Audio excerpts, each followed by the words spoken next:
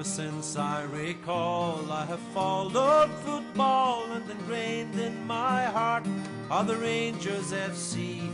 Through good and the bad, times of happy or sad, it will always be Rangers for me.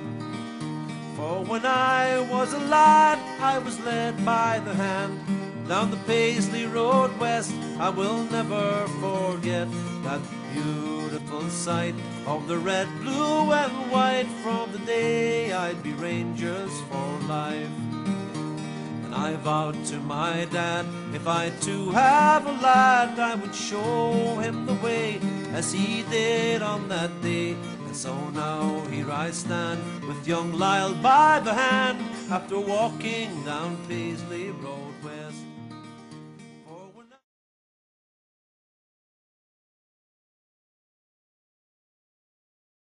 So welcome along to Down the Paisley Road West.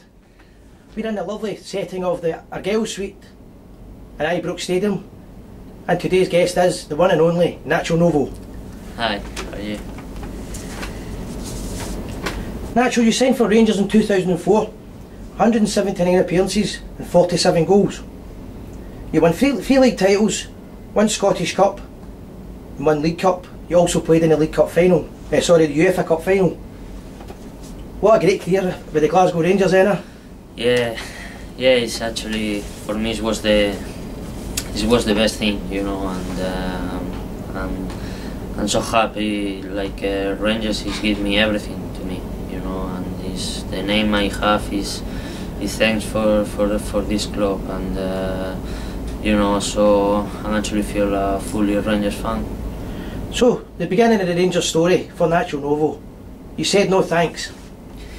Yes, it's uh, it's that it's uh, I think like uh, it's, it's been happening before camp, uh, you know, in Dundee in, in the summer when uh, uh, Celtics want to sign me as well on the same time, and um, you know, it's, it's actually it was. Uh, it was a complicated one because obviously Dundee they, they, they, they want me obviously for more money Yeah. so they will uh, want me to go on to, to, to speak to Celtic Park. So did Celtic make the first approach? no, no, the f- always is uh, Rangers been there for me. No, did, did Celtic contact you before Rangers contacted you? No, no, the, I, I, I knew the Rangers is, is, is have a, uh, you know, is, is, is been talking about it. Yeah. You know, is I already knew from even from January that. Uh, So you, you knew is the story? uh, and uh, you know, is I know Rangers has always been there. Okay. Celtic is appear in the last minute. Okay, And, um, Was it true that Celtic offered more money than Rangers to Dundee? yeah, yeah, yeah. So the next question is going to be: So why did you pick the Glasgow Rangers? Because uh, I thought it's, uh, it was better club, um, better name players, uh, uh, great fans. I had as well very good friends of uh, of mine here, like Shu- Shura Khizanishvili, Arveladze speak very well, Claudio Caniggia speak very well, uh, Ronald De Boer speak very well about the, the club, and sometimes I used to come down and have dinner with them. So it's uh, I was uh, thinking about that, and then as well, I'm the one she's thinking, uh, you know, as well before my mom is died, she's she always say to me, you know, you need to go for for for the ones uh, are always interesting in you, you know. So Yeah. So how, how, how did the approach go from Celtic? You went to Celtic Park. They tried to sign you. yeah, yeah, yeah. I, I went to to Celtic Park uh, to speak with Martin O'Neill. Um, they've been showing me everything, but uh, I already knew that uh, I'm not gonna sign for for Celtic. So it just kind of like uh, Dundee made me go over there. Yeah. Know? So uh, I just went and you know uh, I just was there. I I just say um, uh, okay okay bye bye. Just left and. Um, you know, just go to Dundee. I just uh, say to the chairman that uh, I want to say still sign for Rangers. So it's, it's nothing. When I was to Celtic, anyways, it's not even speak about uh, any contracts or anything. You just try to show everything, and you know, uh, it's want to sign for me. And remember Martin O'Neill just grabbed me like that for my neck and just said, "You better sign for us." So I just laughing, you know. you think to yourself, you're specky so and so. but uh, but uh, you know, it's uh, you understand sometimes where Yeah. where people is are interested in people who will try to make everything the best. But for me, Rangers has always been there for me, you know, and uh, um, I don't like uh, when it's coming the last minute. So. Uh, I had good before, good good friends here, Rangers, Mikel Arteta, everyone, and uh, I just decided to come over. So, as I said, they said no thanks. Maybe they should make a song about that. Yeah, definitely. So you arrived at Ibrox Stadium, you signed for the famous Glasgow Rangers. Tell us first of all your memories of your first day coming and signing for the club. Oof, it was a very exciting moment, you know. And actually, I remember just coming to Glasgow uh, before I gonna sign, and um, I used to be in a hotel, I just stay in a hotel. So because being waiting for the transfer from from Dundee, the paper from Dundee to get signed, Yeah. so I can speak with Rangers. So I was there and I used to get a car and just drive just to come to Ibrox, just to see Just to see it? Yeah, just to see In it. anticipation of actually making it, Yeah. making the move. So you, on your first day when you met the players and you actually you became a Rangers player, have you, can you remember that? Yeah, yeah, I actually remember. You know, I remember just to come out and everybody has been treating me very well. And, you know, great installations as well in Murray Park and everything. So I was, I was quite, quite, quite happy with this, you know, and it's made me feel, you know, just to start, you know, Yeah. uh, as soon as to, to, to play. And uh, it's actually, it was one of the best feelings ever. Great.